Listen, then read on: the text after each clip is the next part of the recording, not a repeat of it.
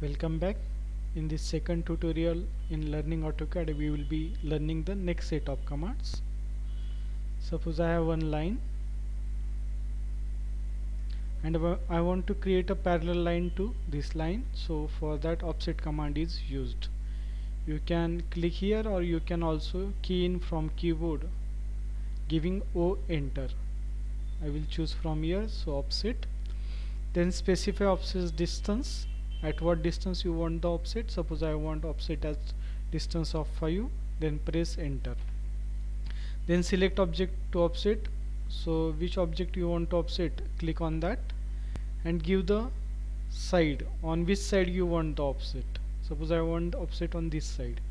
So just click there. So offset will be created. If offset command is still running you can again select the other object and give the other side also I can select this. And if you want to change the offset distance that also possible in this new version. Suppose I give the distance of 10 so your offset will be created at a distance of 10 so in this way you can change the distance during the command. To come out you just have to press enter or you can also click on this exit.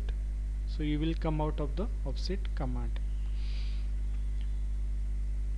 Then suppose I have this one line uh, this this set of lines. I want to cut this line from this line. I want to cut this line above this line. This much line I want to cut. So for cutting the object trim command is there. Shortcut for trim is tr trim. Then uh, asked me to select cutting edges. Here if you see he is asking me to select cutting edges cutting edges are the reference edges with the reference of which you want to cut. Suppose I, uh, I want to cut with respect to I want to cut this this much line. So this will be my cutting edge. Then press enter. Then select object to trim. What you don't want you click on that. So it will be trimmed. And to come out just press enter to come out of the trim command. Suppose I want to cut from this point to this point and this point to this point. Then again trim. Then this time cutting edges will be I want to cut from this point to this point so this line will be cutting edge and this from here for this part this line will be the cutting edge. Then press enter. Then select object to trim what you want to trim. Press enter to come out. So in this way you can use the trim command. One more uh, option is there to use the trim command. If we see the trim command there is one more option is there select all. If uh, to select this option we just have to press enter. Then in this option what happens? It selects all the line as a cutting edge. So you can directly click on the line that you want to trim. So you don't have to individually select the cutting edges. So this is also a very useful option. You can come out by pressing enter suppose I want to make a particular portion bigger I want to zoom there.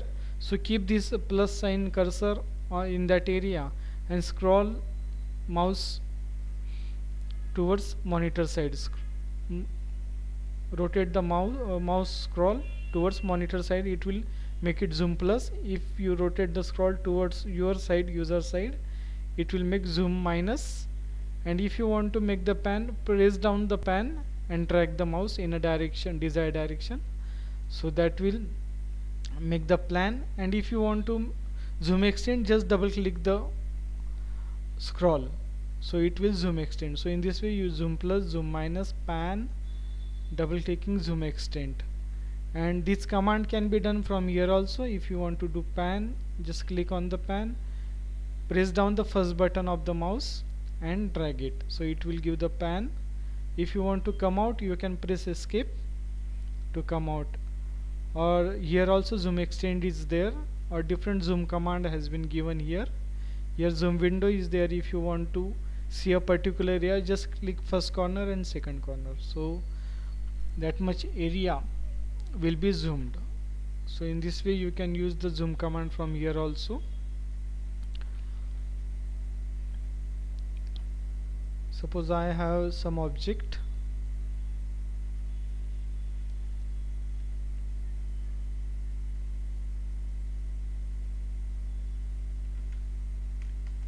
And I want to check what is the length of this line. So for checking there is measure tool has been given here. First uh, in that distance command is there. Is asking me to specify first point. Click on the first point.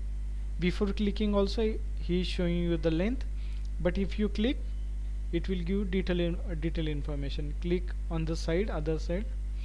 Then here you can see the actual length of the line.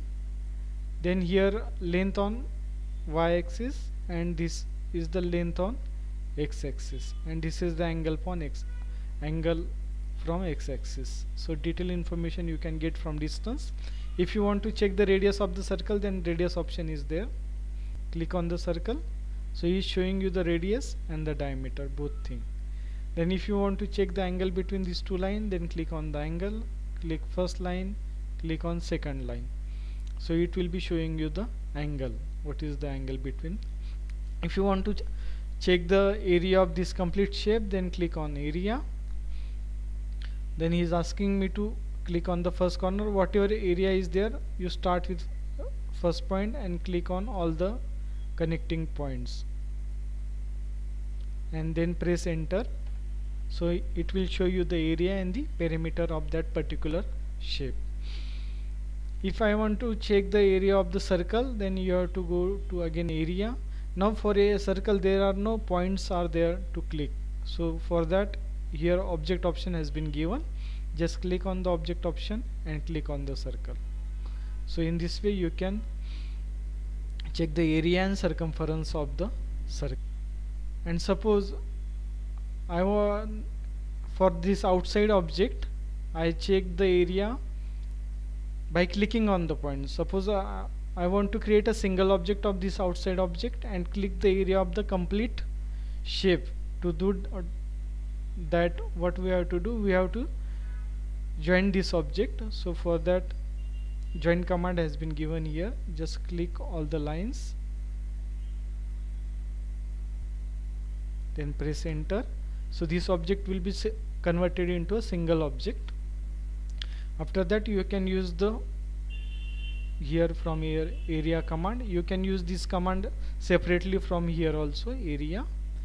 Now this has been outside object has been converted into object. You can take the object option and click on that object so it will directly sh show you the area and the perimeter. You don't have to click on each and every point of it. And uh, here is the volume option. Once we create the 3d object you can check the volume of that object also. To come out just press on the exit button. So that's all. We will stop here. Thanks for joining